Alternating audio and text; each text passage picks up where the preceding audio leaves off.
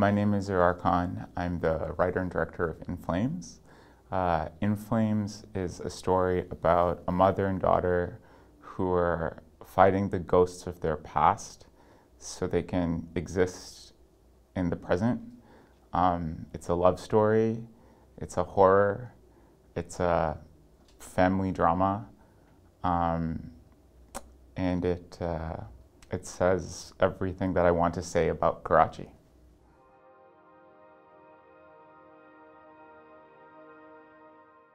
I think if you love a place, you're critical of it, and it comes from a place of love, um, because that's, you know, and the French are so good at that as well. And I think cinema, for me, and what I wanted to do with this film, with In Flames, is speak to the condition of women in the country, because that's more than 50% of the world, and speak to, and also create a film that can in some ways be ammunition for those who are living in Pakistan, who are living under a society with very rigid expectations of behavior, and ideally give hope. Know that there is a future where you will overcome these demons, where you don't have to move away to survive. You can survive in this place and speak to the resilience and the power of the women, the incredible women I know who, who are doing the work to create a more secure and inclusive society. And that's what I think cinema is art, you know, it's not gonna, it's not gonna change legislation, but it can change minds. And that's what I hope to do with this film.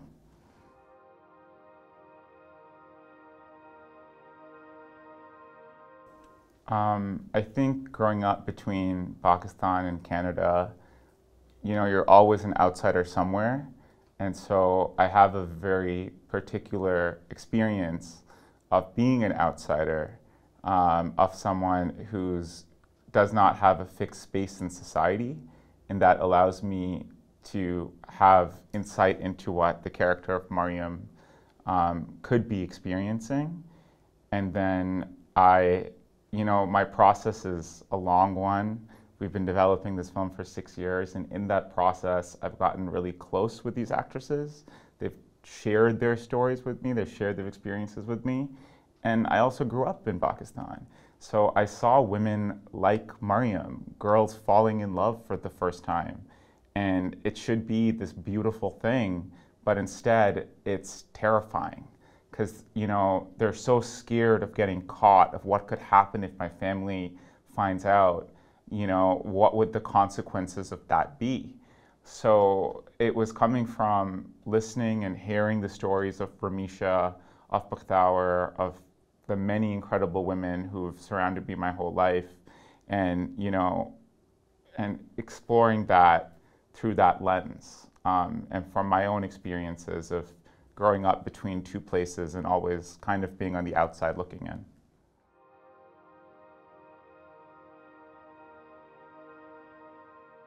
I mean, I resonate more with Mariam, but I feel like the male characters in this film are a reflection of the society. And so they're not villains. Asad feels like it's his job to protect Mariam, and he shouldn't. She can protect herself and we see that through the course of the film. Um, and the little brother, he could do so much more, but he's not because he feels like he doesn't need to as a, even as a young man. You know, so both of those characters, I think they're a reflection of the way that patriarchy kind of is insidious. I, I wouldn't say even Salim, the rickshaw driver, you know, the first time we meet him, he's uh, you could he could be interpreted as a savior, you know. But what I want to show with this film is you have to save yourself, you know, and there are no saviors. And uh, I mean, I feel empathy because if you're growing up in a society, you don't know what is wrong with it, you know, because you take for granted a lot of the social norms. And so for characters like Salim or Asad, they feel like they're doing the right thing. Even for the character of the uncle, he feels like he's doing the right thing. He's protecting Bakhtawer. He's protecting Fariha from the judicial system. You know, so it's by putting the camera and the lens on them and reflecting it back to the audience, we can see that this is nefarious. This is malevolent. This is horror.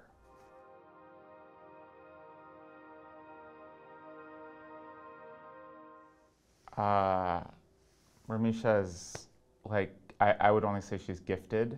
You know, this is her first film. We, the first time we met was when she came for her script reading with the entire cast. And when she walked in the room, I didn't recognize her because we'd only met via Zoom. And in person, she has this very quiet presence. But in front of the camera, something transforms. And uh, I've, you know, I think it's so rare to be in the presence of that, and I'm so happy that she decided to be in this film. My process of working with her is I don't have like a one size fits all approach to working with actors. I, you know, I, I ask them what works for you. Um, do you want to come for a more academic? Do you want a more practical? How can we? I feel like the job of the director is to bring out the best possible performance for the actor in the way that they understand and the way that they can um, and the capacity that they have for performance. So with Ramisha, it was really having a conversation about um, the character, about where the character is in that scene, about what the emotional beat is of the scene, what is the core of the scene, and then letting her interpret that as she would. And her interpretations were just always spot on, you know? Um, so for a director, um, it made my job so easy. You know, like I didn't feel like I had to pull the performance because she knew what to do with it. She knew where to go and when to be restrained. Because for me, a lot of the character of Mariam is in the nuances. Um, it's in the things that are not said. It's in the quiet moments. And she had such a deep, deep understanding of that. And she's so young, you know, like for her to have that at her age, I'm so excited to see where her career goes. With In Flames, it's not only Ramisha's first film, it's her first time on camera. She's never done any shorts. This is her first time working in this medium. And for her to have these instincts, it, yeah, it was a, like a brilliant collaboration.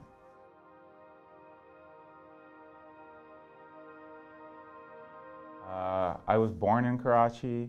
I've spent most of my 30 years, 32 years in that city. It's a city that I have complex and deep emotions with. Feels like a difficult relationship. And, you know, uh, the, I, we were doing the post production in Toronto, um, and it was in the middle of Christmas break. So the city was in a blanket of snow. There was no one there. We would do it at nighttime. And I would go into the cinema and we would play this movie on the big screen and that sequence where she's on the motorcycle and she's going towards the beach and then she walks out and you can you can almost smell the Arabian Sea coming towards you. And I wanted for a moment I was like I am in Karachi you know that is where I am. And I, I wanted to show the beauty of the city as well as you know the terror but re- but those things go hand in hand because with Mariam, you know, she is so much a part of that city and she's not defined by the terror. She um, is resilient like the city. And, you know, it's a hard place. It creates hard people, but I think you're better for it. And in terms of the visual landscape, we were working with a female DP. Her name is er-, Aigul Nurbulatova. She came from Kazakhstan. Um, it was her first time in South Asia, not just Pakistan, in that region.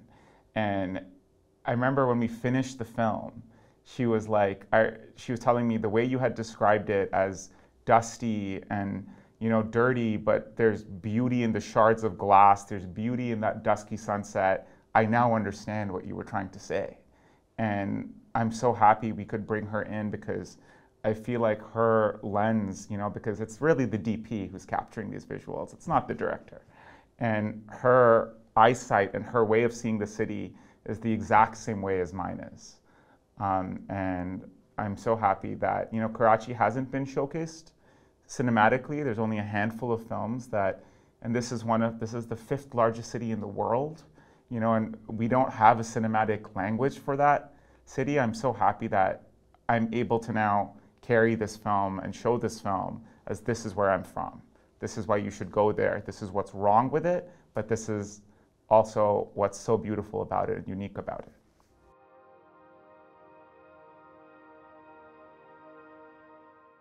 Um, there's a few different elements to what ultimately brought me to genre, to you know having these fantastic elements. One is for me, people always ask, "Who do you make cinema for?" You know, I make it for myself. It's a huge, amazing to share it with the audience, but it's always unexpected when you're sitting there and they're all watching it together. And the films that I enjoy watching, especially lately, are these new genre films you know, stories by uh, Mati Diop, Atlantics, uh, you know, Julia Ducournau Raw, uh, Jordan Peele, um, Nope.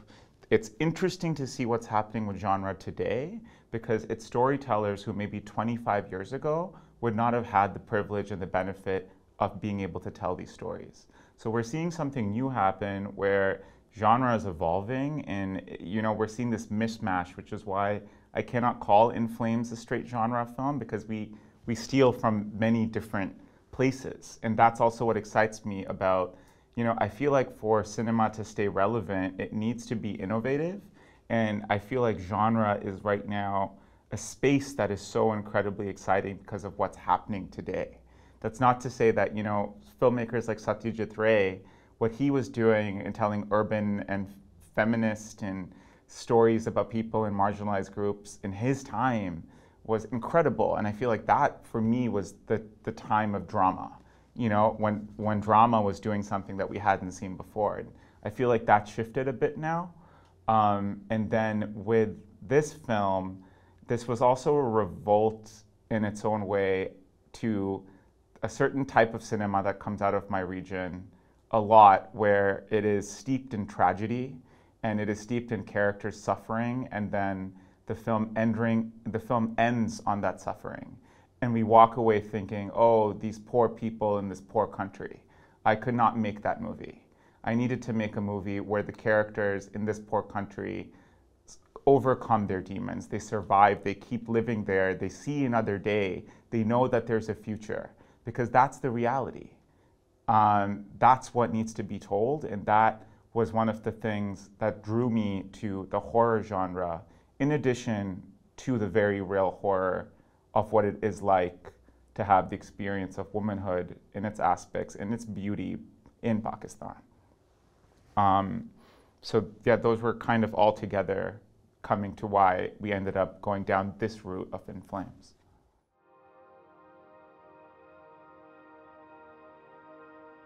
There is something happening right now. You know, there's uh, there's excitement, there's interest, there's uh, the tools are more accessible than ever.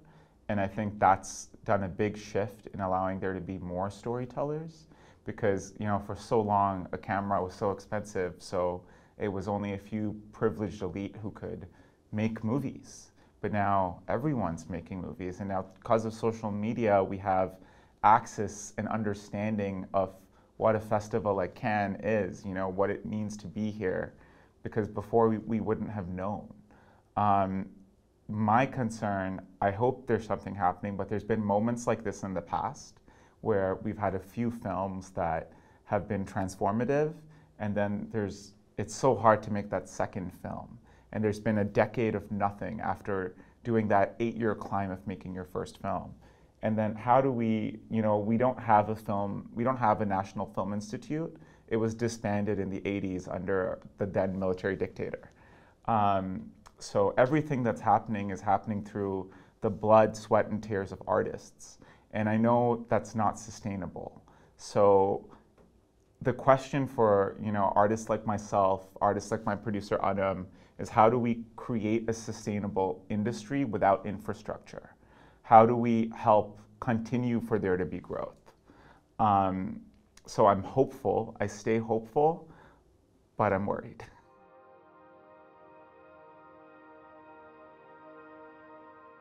it means it's a dream. I'm still processing it to be here at Directors Fortnight presenting the film when, you know, The Blood of Hussain is a film I remember watching it and thinking the way that he captured it, he also uses genre elements. And I met Jamil 10 years ago, you know, and it was as a student going in because he was teaching at, uh, at a college where my friend was also uh, an assistant professor. And he's like, You have to come and meet Jamil. And I'm like, I will come and meet Jamil. um, and he was so generous at the time because um, I'd seen his films, and he was part of that initial wave in the 70s, you know, when it felt like something was happening. Our films were uh, in the international space, you know, they were at Directors Fortnight. Directors Fortnight was the first festival to recognize Pakistani cinema. It was the first, it was the first people to bring out a, a film and show it to the world and say, this is what is happening in this country. It is not just one thing. And that film especially it showed that. It showed different facets of the society. So for In Flames to carry on that legacy, um, it's such an honor and such a privilege and so surreal that I think I'll really understand it later today when the movie screens. Right now, it's still it's still not real to me.